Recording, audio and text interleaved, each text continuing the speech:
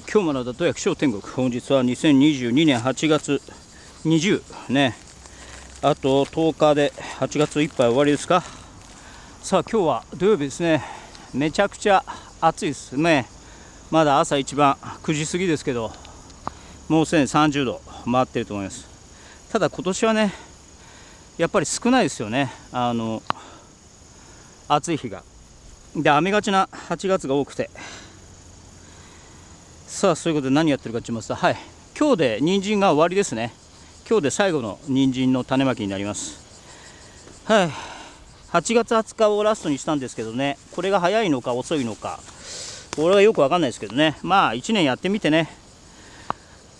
実際にあの1年経ってみないとねその季節的なこととかなんやかんやとかっていうのはねなかなかわからないもんでございましてね。しょうがございません。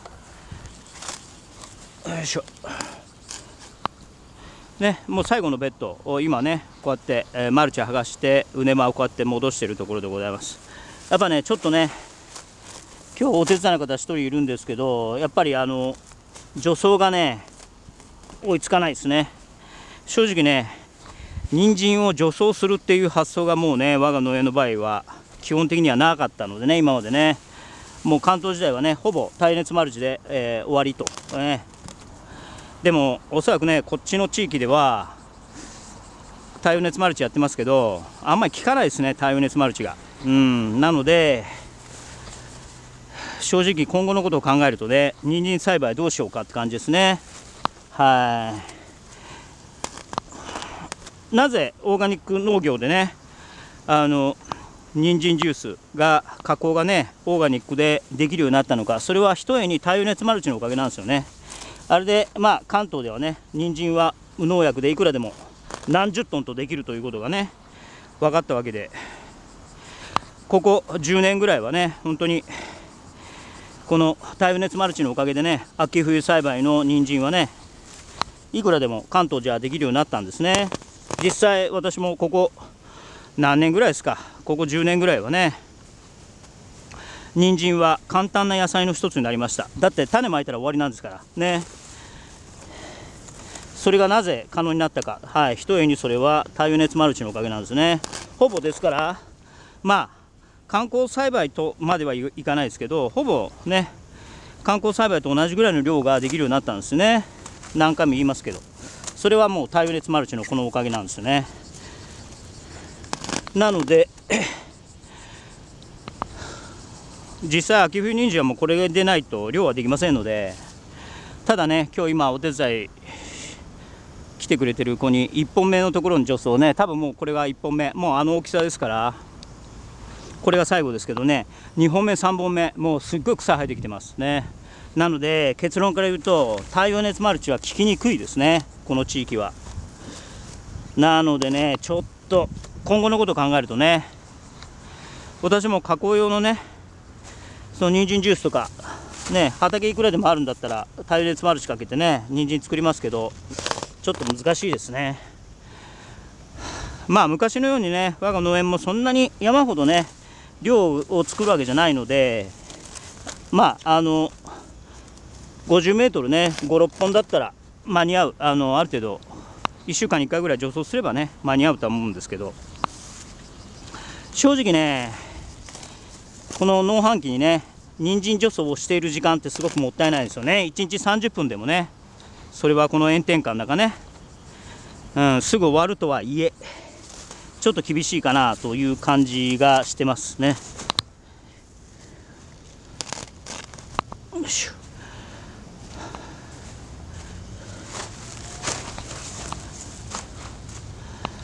よいしょ。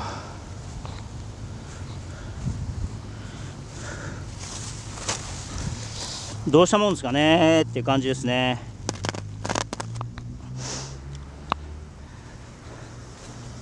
4本123本目がちょっと発芽が今一つですね。ちょっと寒冷車を剥がすのがちょっと早かったかもしれないですね。難しいですね。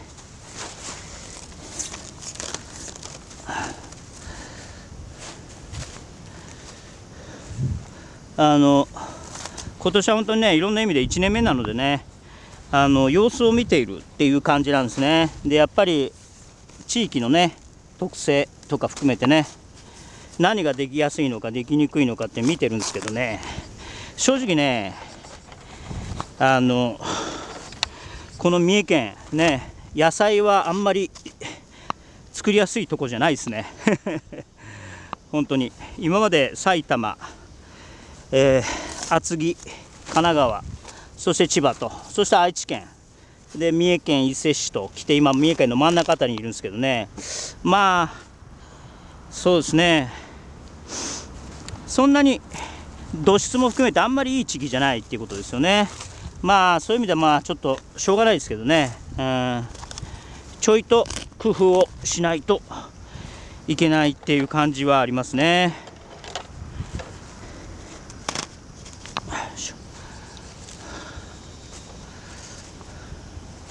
太陽熱マルチが効かないっていうのはね効きが悪いっていうのはもちろん完全に効いてないわけじゃないですよ。効いてないわけじゃないけどちょっと効きが悪いですね。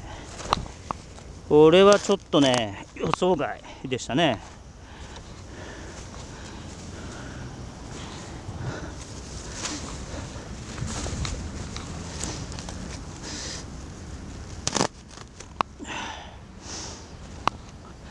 草が生えてくるんではね太陽熱マルチの意味はないので。まあやっぱりそういう意味では太陽熱マルチっていうのは本当に関東ローム層に適したやり方なんでしょうね。そう思います。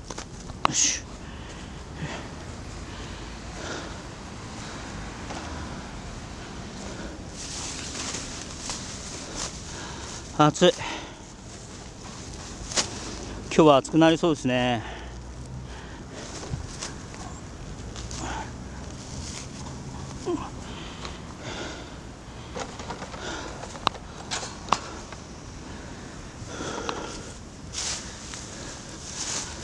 はあ。よいしょさあそんなことでね。これで準備ができました。これでね最後の人参今日ラストですね。来年はねもうちょっと増やして 50m10 本ぐらいはやろうかと思ってますけどね。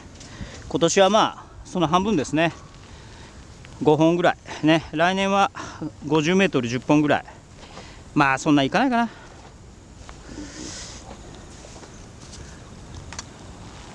ねちょっと発が悪いですね。ね3本目。かなり草出てきてですよ。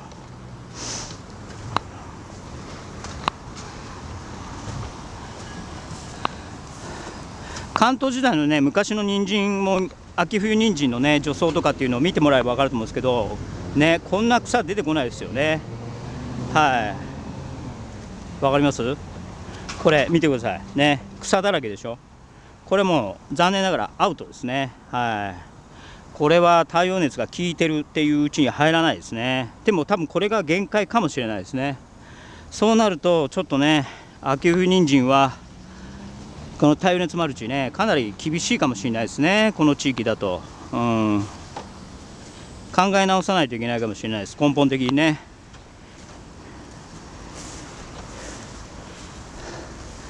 結局ね水の湿り気がある時にあのトラクターが入れないっていうのが根本的な問題ですよね。うん。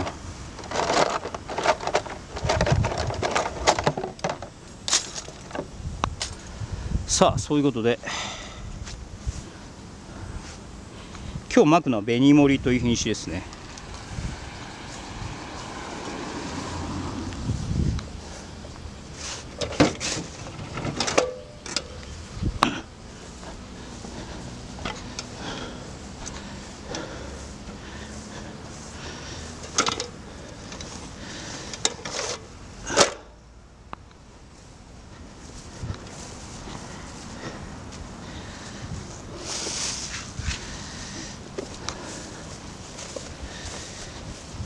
はい、ハッシュといえばクリーンシーダーですね。クリーンシーダー。で、えー、大事なのは何かって言ったらセッティングなんですね。で、えー、この時期はね、えー、株間を10センチぐらいしますので、ロール13と11か、13、11。ちょっと株間を広げますね。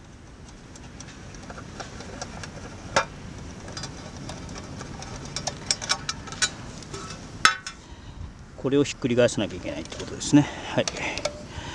これも今日巻くのが最後ですから来年2月3月出荷用の人参ってことですね。品種は紅盛です。これね美味しい品種ですね。おすすめでございます。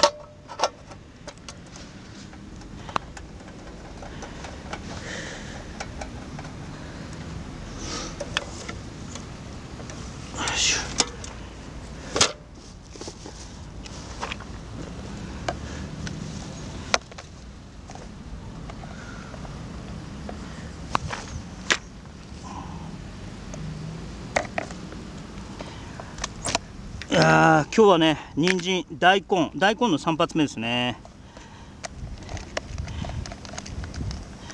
で植え付けが2ベッドぐらいキャベツとかね。一気にまたガツンと行きたいんですけどせっかくねお手伝いの方が来てくれてるのでガンガンやりたいです。はい人参はねもうあのクリーンシーダーのロールはこれ一択です。XL10 の1ね。これ一択です。ダブルディンプルね。ダブルディンプル XL10 の1こう覚えてください。ね。クリーンシーダー。あの一般の方は何言ってるか分かんないと思いますけど。これはあくまでもねプロの方に、えー、お伝えしてるわけですが。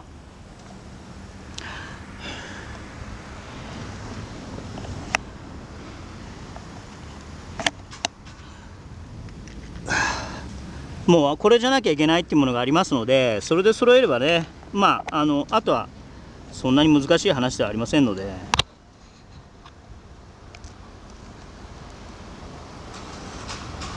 でねこのあとはセッティングですね。このハケのね高さを調整するっていうのが意外と難しいところでポイントでございましてね。はい。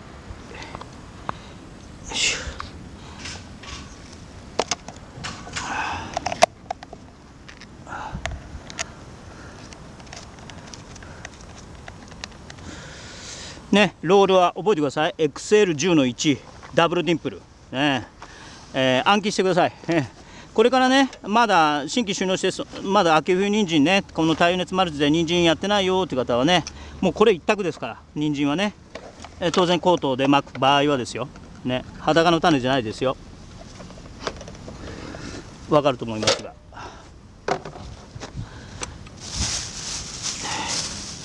種これですね。紅森ゴースね。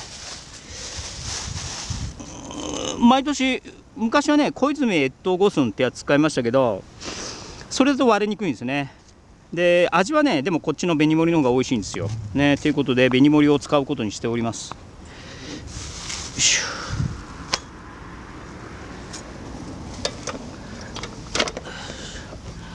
こぼしたくない。これね意外と。おおこれねあのこういうあのあれに入ってないのでねパッケージングがされてないので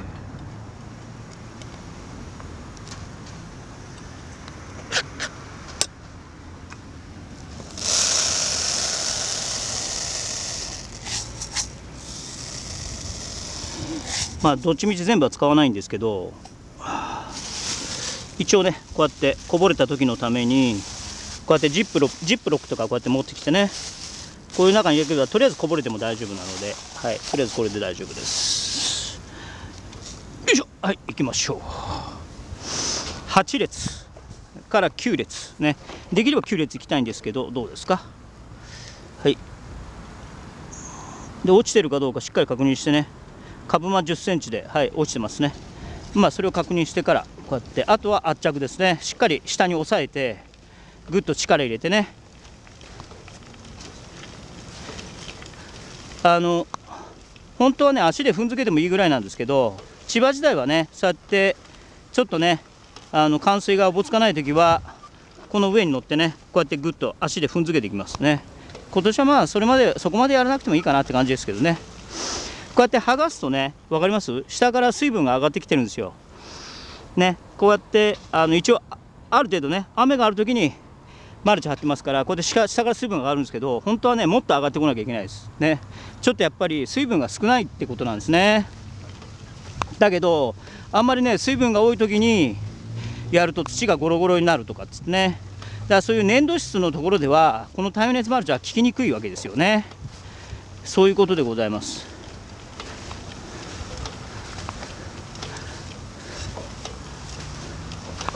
ねギリギリの際をこうやって走っていきます。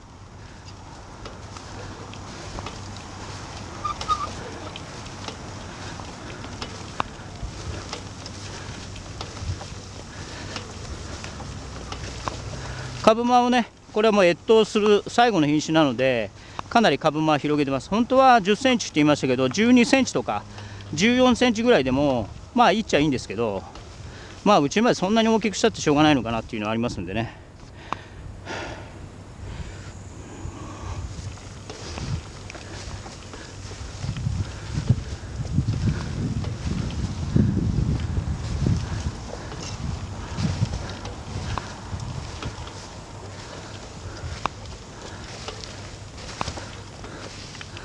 はあ、はい、ゆっくらすと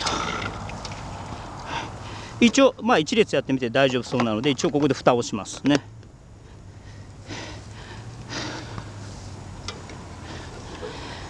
今コートだいぶね種も種代も上がってきてね。今今年コートどうですか？ね種のだいぶ上がってきてますよね。昔5000円台ですけども今年見たら6000円台ですもんね。だから人参の種代だけでもね何万何万ですか？いくらですか？まあでも昔は大体5万ぐらいはね使ってたと思いますからまあどうってことはないんですけど。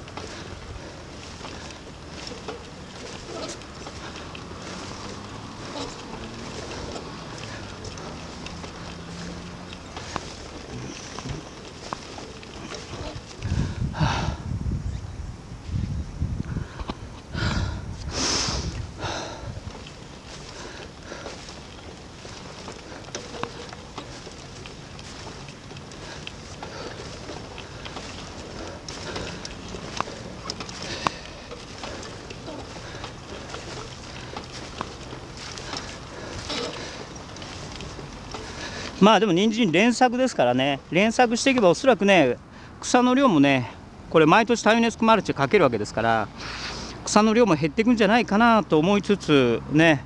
でもそっち側見れば分かりますけど結構やっぱりね草多いですよ。ね。でなんかそのなんか朝顔系のなんかねつるの多いちょっと草が多くて多分その種が落ちちゃうんですね。やっぱこれがおそらく耐えるのにやっぱり5年から7年ぐらいかかりそうな気がしますからね。まあでもそこまではちょっと頑張らないといけないのかなという気はしますけど。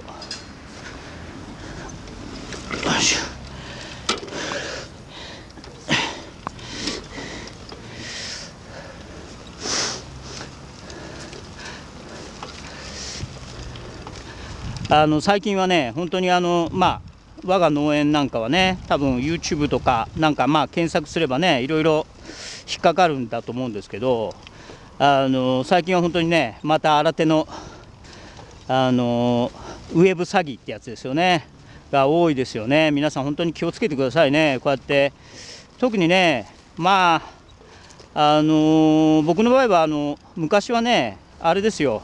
ネット詐欺。例えば昔はね我が農園もねあのお試しセットもね一番最初の申し込みはねお野菜を送ってから振り込みっていう形で取ってたんですよね。僕の友人なんかもみんなそうだったんです最初は。だけどそれだと要するにお試しセットね申し込んでお野菜を送っても払わん人がいるんですね。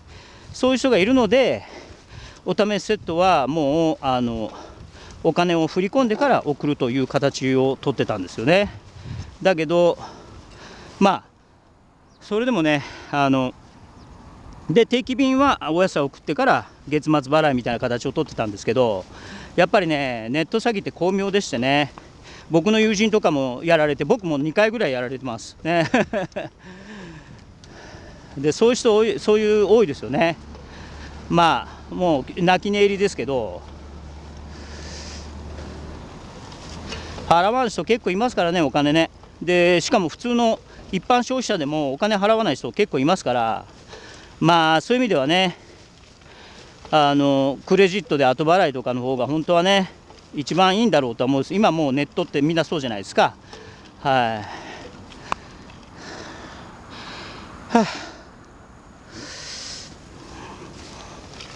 あ、あとねだからそのこの間のね多分それは詐欺だと思いますけどもちろんね名前とか出しませんけどあの取材をさせてほしいと来たんですね。はい。で名前あんでいろんな人をまあなんていうの？取材をしてるんだけれどもでそれをまあなんていうの？せなんか日本で活躍する何人とかまあそんなようなテーマらしいんですけどでねそれに出るじゃないですか。まあだからウェブ上でそれをまああのそういう記事を上げますと。でそれを見てテレビや取材がね来ましたとなった時にその時に費用をいただきますみたいなことなんですよね。でまあ一見ね筋が通ってるようなことを言ってるんですけどおそらくこれ詐欺だと思うんですよね。はい。でその一つにね例えばじゃあ例えばテレビ朝日からテレビ局から取材をしたいってその記事を見て行ってきた時にじゃあいくらですかとね。そしたらね大体100万ぐらいって言うんですよね。はい。そんなのね聞いたことないですよ。でそれでねあこれは詐欺だなと直感的に思ってすぐに断ったんですけどあの本当にねあのかなりグレーです、はい、僕は何回かねそうやってテレビや取材あのいろんな形で出てるのでなんとなくそういう分かるんですけどこれね初見だと分からない可能性がありますね。で100万ぐらいっていうのも要するにその1回出てそれで出ちゃってるわけだから永遠にだから取られる続けるわけですよね。はい。本当に恐ろしいというかね。こんなのだから田舎でね本当にあのホームページ立ち上げたばっかの人なんかはカモにされるんじゃないのかなというふうに思いますね。で言うほどねあのそういうマスコミとかって1回出れば分かりますけどそんな言うほどねあの